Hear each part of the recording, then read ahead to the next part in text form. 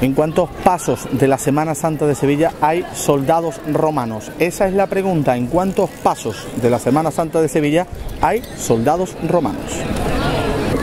No tengo ni idea de, de pasos, de- es que no, no soy mucho de Semana Santa. Vamos a decir 12. Soldado romano, ma- eh, pues, ¿Más o menos? Soldado romano, yo no tengo ni idea. La centuria, ¿no? Es banda de soldados romanos. Yo, de, yo que cofrade, yo tocaba en banda y todo, pues fíjate tú y estoy pegado.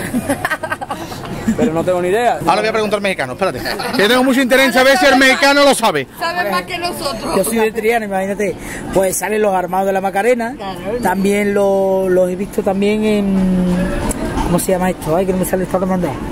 Un número. La Macarena. En 23 pasos. Yo digo en tres. Tres. Yo de 3 a 5. Y el mexicano, espérate, digo un número. Yo diría 10 pasos por lo menos. Un número por encima.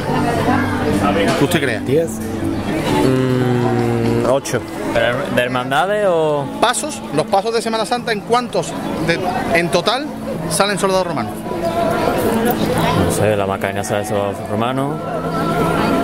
Ya me lo ha dicho, me ha dicho la habitación. 6.